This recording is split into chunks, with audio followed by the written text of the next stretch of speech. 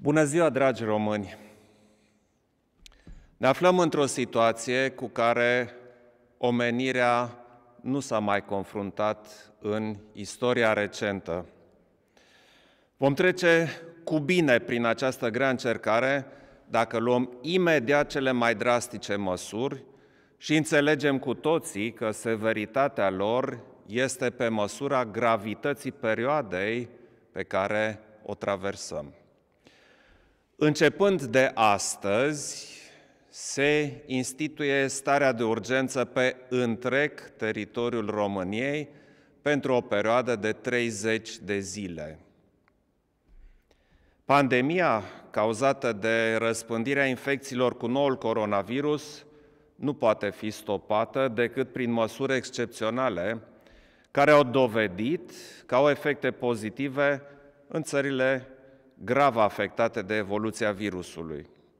Aceste măsuri vizează sănătatea publică, domenii sociale și economice, dar vizează deopotrivă și îngrădirea exercitării unor drepturi și libertăți fundamentale. Oricât de greu ar fi să ne adaptăm acestor limitări, aceasta este singura cale prin care salvăm viețile celor dragi nouă, viețile celor de lângă noi. Este extrem de important ca oamenii să fie corect informați și de aceea vreau să spun românilor ce înseamnă instituirea stării de urgență pe teritoriul țării noastre, potrivit decretului pe care l-am semnat astăzi, ce efecte va produce asupra vieții fiecăruia dintre noi și în ce măsură ni se schimbă viața în următoarea perioadă. Astfel, școlile vor fi închise pentru protejarea copiilor, elevilor și studenților, activitatea din învățământul preuniversitar și universitar se suspendă pe perioada stării de urgență. Salut efortul cadrelor didactice, dar și al tuturor celor care au propus și oferă soluții de pregătire academică alternativă, fie online, fie prin intermediul televiziunii, pentru ca elevii să traverseze această perioadă dificilă cu cât mai puține lacune. Tehnologia ne oferă astăzi un avantaj considerabil în acest sens. Foarte important este să limităm povara financiară asupra cetățenilor în aceste momente grele. Astfel, pe perioada stării de urgență, dacă va fi nevoie, se pot plafona prețurile la medicamente și aparatură medicală, la alimentele de strictă necesitate și la serviciile de utilitate publică, cum ar fi energia electrică și termică, gaze, alimentare cu apă, salubritate, carburanți, în limita prețului mediu din ultimele trei luni dinaintea declarării stării de urgență. Vreau să fie foarte clar următorul lucru. Serviciile medicale pentru tratarea cazurilor de infectare cu noul coronavirus și a complicațiilor acestora se acordă tuturor persoanelor aflate pe teritoriul României și se suportă din bugetul Fondului Național Unic de Asigurări Sociale de Sănătate. Pentru persoanele izolate la domiciliu, ca urmare a măsurilor de limitare a răspândirii COVID-19, se vor stabili măsuri de sprijinire care vor, care vor fi puse în aplicare de autoritățile administrației publice locale. Angajatorii și angajații afectați de efectele crizei COVID-19 vor fi sprijiniți prin derogări de la prevederile legale în vigoare. Angajații și familiile acestora din sectoarele economice a căror activitate este afectată sau chiar oprită total sau parțial pe perioada stării de urgență prin decizia ale autorităților publice, vor beneficia de protecție socială. Pe perioada stării de urgență, prevederile legii privind acordarea unor zile libere părinților pentru supravegherea copiilor în situația închiderii temporare a unităților de învățământ nu se aplică angajaților Sistemului Național de Apărare, angajaților din penitenciare, personalului din unitățile sanitare publice și altor categorii stabilite după caz. Aceste categorii de personal au însă dreptul la o majorare a salariului în cuantumul prevăzut de legea numărul 19 din 2020, în situația în care celălalt părinte nu beneficiază de drepturile reglementate în această lege. Tot în sprijinul angajaților și angajatorilor se introduce posibilitatea ca în instituțiile și autoritățile statului și în societățile cu capital privat, acolo unde se poate să se lucreze la domiciliu sau în regim de telemuncă.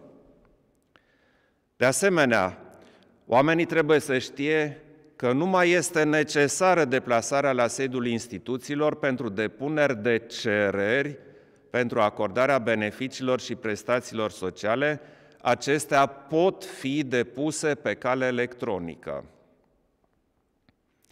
Un capitol extrem de important al decretului privind instituirea stării de urgență se referă la măsurile în domeniul sanitar. Am dispus astfel ca în structurile Ministerului Afacerilor Interne, în unitățile sanitare și în serviciile de asistență socială să se poată angaja fără concurs personalul necesar pentru a suplimenta nevoile medicale apărute. De asemenea, am dispus asigurarea sumelor necesare în bugetul Ministerului Sănătății pentru achiziționarea de materiale, echipamente și medicamente în perioada pandemiei prin procedura de achiziție directă. Am simplificat, de asemenea, proceduri de decontare și alocare a banilor, astfel încât în domeniul sanitar să se poată realiza rapid toate operațiunile necesare. În domeniul economic, Guvernul poate adopta măsuri de susținere a operatorilor economici din domeniile afectate de COVID-19 și va anunța în curând pachetul de soluții pregătit. În această perioadă de criză, producția și întreaga economie trebuie să fie pregătite să susțină combaterea răspândirii infecției cu noul coronavirus. Totodată se va asigura continuitatea tuturor serviciilor de utilitate publică, precum și funcționarea optimă a sistemului energetic național. Am decis și suspendarea efectuării controlelor la angajator de către inspectoratele teritoriale de muncă, cu câteva excepții, sigur. Instituirea stării de urgență produce efecte și în domeniul justiției. În această perioadă, activitatea de judecată va continua doar în cauzele de urgență deosebită. Lista acestor cauze se stabilește de conducerea în alte curți de casație și justiție și respectiv de colegiile de conducere ale curților de apel, iar Consiliul Superior al Magistraturii va da îndrumările necesare asigurării unor practici unitare. Pentru judecarea proceselor, instanțele pot da termene scurte, de la o zi la alta sau chiar în aceeași zi, și vor dispune măsurile necesare pentru desfășurarea ședințelor de judecată prin videoconferință. Toate măsurile detaliate pe fiecare domeniu de specialitate în parte, se regăsesc în decretul pe care l-am emis astăzi și care va intra în vigoare după publicarea sa în monitorul oficial. Autoritățile responsabile vor lua act de aceste prevederi și le vor pune imediat în practică. Vreau să transmit un mesaj special medicilor și personalului medical care încă de la primul caz înregistrat în România, au demonstrat profesionalism și o extraordinară dedicare. Vă mulțumesc tuturor pentru eforturile făcute și cu toții suntem recunoscători pentru munca pe care o depuneți în mod neobosit. Vă asigur că prin acest decret am luat toate măsurile pentru a se putea face cu maximă celeritate toate achizițiile de echipamente medicale pentru protejarea personalului sanitar, astfel încât sănătatea dumneavoastră să nu fie pusă în pericol. Eu sunt hotărât ca împreună cu guvernul Orban să luăm cele mai drastice măsuri pentru a proteja viața și sănătatea cetățenilor români. Dar oricâte măsuri ar lua autoritățile, ele pierd enorm din eficiență dacă nu sunt urmate întru totul de oameni. Dragi români, ascultați mesajele oficialilor, respectați cu strictețe regulile, păstrați igiena mâinilor, evitați aglomerările, limitați cât se poate de mult orice deplasare. Aveți mai mult decât oricând grijă de cei apropiați, în special de cei vârstnici și de cei vulnerabili. Oricât de greu ar părea, păstrați distanța socială. Măsurile care au funcționat până acum în zonele unde transmiterea infecției a fost ținută sub control sau măcar încetinită, au fost cele severe de distanțare socială. Combaterea transmiterii infecțiilor cu noul coronavirus presupune un efort susținut, adaptabilitate și acțiune rapidă. Instituirea stării de urgență permite autorităților responsabile să adopte gradual, adică pe rând sau imediat, dacă se impune, măsuri precum închiderea punctelor de trecere a frontierei de stat, închiderea temporară a unor restaurante, hoteluri, cafenele, cluburi și alte locuri publice. De asemenea, poate, atenție, poate fi interzisă gradual, adică atunci când se impune circulația rutieră, feroviară, maritimă, fluvială sau aeriană pe diferite rute. Totodată, ca măsură de primă urgență cu aplicabilitate graduală, repet, graduală, însemnând atunci și numai atunci când este absolut necesar, este și identificarea și rechiziționarea de stocuri capacități de producție și distribuție de echipamente de protecție, dezinfectanți și medicamente utilizate în tratarea COVID-19. Acestea sunt măsuri extreme care vor avea un impact direct asupra vieții noastre cotidiene, asupra activității economice.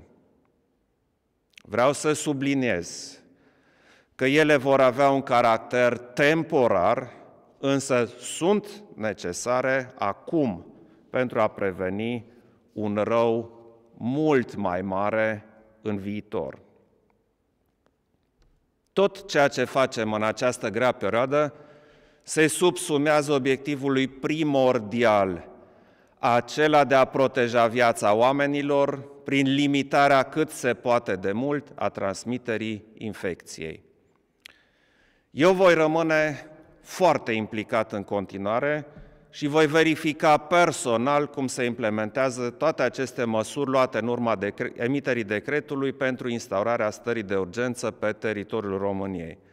Voi verifica personal la fiecare minister și autoritate în parte cum se aplică aceste măsuri.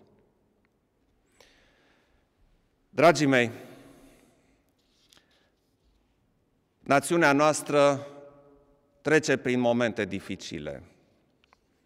Dar suntem români. un popor pe care istoria l-a supus unor cumplite încercări și în trecut, iar împreună am reușit să le depășim pe toate cu bine. Astăzi, în lupta de a limita efectele nocive ale epidemiei provocate de coronavirus, nu suntem singuri. O criză globală necesită soluții globale, nu doar locale. Efortul internațional este unul uriaș. Ne coordonăm cu partenerii noștri din Uniunea Europeană și împreună suntem încrezători că vom depăși cu bine această grea încercare. Dragi români, vă doresc multă sănătate!